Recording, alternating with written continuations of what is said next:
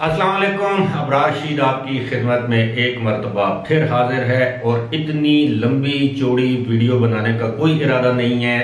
एक खबर है जो कि कुवैत में रहने वाले तमाम गैर मुल्कियों के लिए अफसोसनाक खबर है और अफसोसनाक खबर ये है कि कुवैत के हुकाम ने गुज्त दो तीन महीनों में बीस हज़ार के करीब एम्प्लॉयमेंट परमिट जो है या वर्क परमिट जो है वो उनको कैंसिल किया है।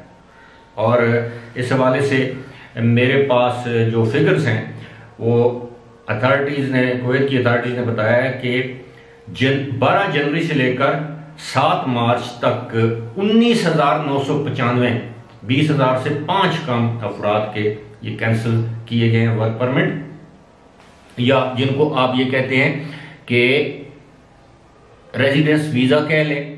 और ये जो इसकी बड़ी वजह यह बताई गई है कि तकरीबन बारह हज़ार तीन सौ इक्यानवे ऐसे अफराद के वर्क परमिट्स कैंसिल किए गए हैं जो कि किसी मजबूरी के तहत इस वक्त कुवैत से बाहर हैं। और वो सफरी पाबंदियाँ, जो भी रिस्ट्रिक्शंस हैं, आपको पता है कि कुवैत लॉकडाउन में रहा है एयरपोर्ट्स वगैरह उनके बंद रहे हैं ज़्यादातर अरसा तो ये लोग जो वापस नहीं आ सके उनके इन्होंने रेजिडेंस परमिट्स जो हैं वो कैंसिल कर दी कर दिए हैं। इसी के साथ साथ ये भी ऐलान किया गया 6,245 ऐसे वर्क परमिट्स कैंसिल किए गए हैं और जिन लोगों ने कुवैत से इनखलाक का रास्ता अख्तियार किया, यानी कुवैत से चले गए और दोबारा वापस नहीं आए। ज़ाहिर है, ये भी कोविड नाइन्टीन की वजह होगी। और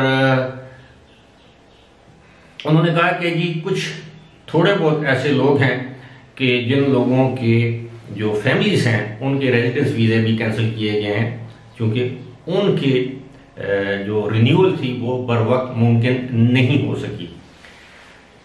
अब बीस हज़ार अफराद के वर्क परमिट्स कैंसिल होना। और ये बहुत बड़ी तादाद है। अब ज़ाहिर इनमें गरीब ममालिक के लोग होंगे। पाकिस्तान, भारत, अफ़गानिस्तान, बांग्लादेश, श्रीलंका, मुमकिन है। फिलिपाइन के लोग भी हों, अफ्रीका के लोग भी हों। लेकिन इससे क्या ज़ाहिर होता है कि अगर उनकी सफरी पाबंदियों की वजह से कोविड 19 की वजह से उनके वर्क परमिट कैंसिल किए गए हैं तो ये वर्क परमिट कैंसिल नहीं होने चाहिए थे। जिस तरह के यूएई ने बड़ी सहूलतों का ऐलान किया है। वो लोग जो यूएई से बाहर चले गए फंस के उनके लिए रियायत का रियायतों का ऐलान किया, वो लोग जिनके वीज़े छः महीना, जिनके ऊपर वो पाबंदी थी कि छः महीने के अंदर आए, उन लोगों को एक साल का वक्त दिया। यहाँ तक कि अब वो आईसीए और जीडीआरएफ की अप्रूवल का सिलसिला भी ख़त्म कर दिया। यहाँ तक कि वो लोग जो किसी कस्मपुरसी का शिकार थे, उनकी मदद की। दूसरी जानब हम देखते हैं कि यही हमारे मुसलमान ब्रादर इस्लामी ममालिक ये अपने वर्कर्स के साथ, वहाँ पर काम करने वाले लोगों के साथ, चाहे उनके 10 साल गुजर चुके हैं 20 साल उन्होंने कुवैत की डेवलपमेंट या तरक्की में अपना किरदार अदा किया। उन लोगों के साथ उनकी हुकूमतें उस तरह का बर्ताव नहीं करती, जिस तरह। अच्छी बात है, खुशकिस्मती से। यूएई, और ख़ास तौर पर मैं ज़िक्र करूँगा, बहरीन की हुकूमत ने जिस तरह एक्सपर्ट्स गैर मुल्कियों को जो सहूलतें दी हैं, आप तस्वर नहीं कर सकते। क्योंकि बहरीन वालों से मेरा रबता कम रहता है, वहाँ के लोग कम ही मुझे ईमेल करते हैं या मैसेजेस करते हैं। ज़ाहिर है, ईमेल या मुमकिन है वो मेरी वीडियोस इतनी ज़्यादा ना देखते हो, क्योंकि मैं बहरीन का तस्करा कम करता हूँ, लेकिन आप यकीन करें कि बहरीन में ना सिर्फ़ उनके अपने शहरियों, बल्कि गैर मुल्कियों को इतनी ज़्यादा सहूलियात दी गई हैं कि आप तस्वर नहीं कर सकते।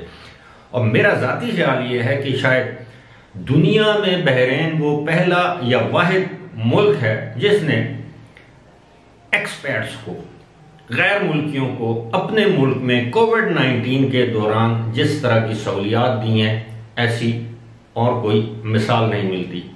यानी बिजली, गैस, पानी के बिल वगैरह, ये और साथ में इमदादी रकम, चेक, लोगों की मदद, इमदाद, कंपनियों की स्टिमुलस जैसे कहते हैं अब मैं ये नहीं कह सकता कि बहरीन कुवैत से ज़्यादा अमीर मुल्क है, सऊदी अरब से ज़्यादा अमीर मुल्क है। मुझे इनकी इमारत से कोई दिलचस्पी नहीं है, लेकिन मुझे ये दिलचस्पी ज़रूर है कि कौन सा मुल्क उन लोगों के साथ क्या सलूक करता है जिन लोगों ने इन ममालिक की तरक्की में बहुत बड़ा किरदार अदा किया है। फ़िलहाल इसी के साथ मुझे दीजिए इजाज़त।